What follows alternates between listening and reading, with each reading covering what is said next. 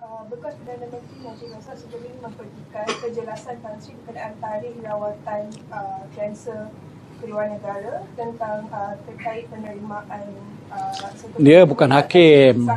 tarikh. Elok. Ya ya elok dia manage dia punya problem lah. Saya dah selesai buat satu kenyataan dan saya tak nak tokok lagi dalam majlis ni.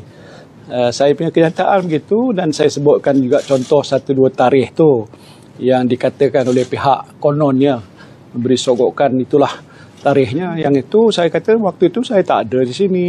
Saya sebutkan itu ya. Uh, jadi saya nak minta supaya tak tak perlu nak nak dibahas lagi.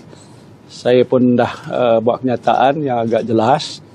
Uh, dah ada orang buat report polis biar polis siasat uh, kalau SPM nak panggil sahabat saya pun boleh panggil. Saya tak takut. Kerana saya cakap yang benar So ya. ada dihubungi oleh mana pihak berkuasa setakat hari tadi berkenaan isu so far tadi? Saya, saya dah buat kenyataan tu terserah pada mereka lah. Takkan saya dapat saya datang lah. so far tak juga? Setakat, setakat ini tak ada. Ya, saya cakap benar, saya tak pernah bohong. Uh, itu orang nak komen tu masing-masing punya komen lah. Tapi importantly, saya tak rasuah, saya tak terima apa-apa pun. Uh, tapi kalau ada orang lain kata itu, itu hal dia lah.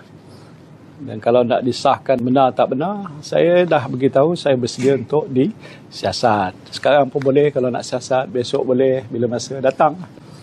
Dah buat report polis, buatlah report banyak-banyak pun tak apalah. Polis kena siasat lah. Alright? Thank you. Dari uh, mengenai apa Tan tak menerima Tan Sri mengenai komentar Mahathir.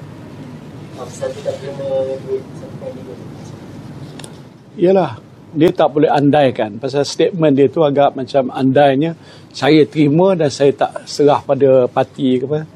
Itu tak ada kaitan. Ini tuduhan yang kata saya terima. Kan? Itu tuan jawab dia itu waktu itu dia jadi pengusi. Uh, tapi saya tak nak komen yang itulah. Yang hakikat yang betul apa yang saya telah nyatakan itulah dia. Serah pada pihak berkuasa lah what others say is not really important lah, as far as I'm concerned. Eh? Okay?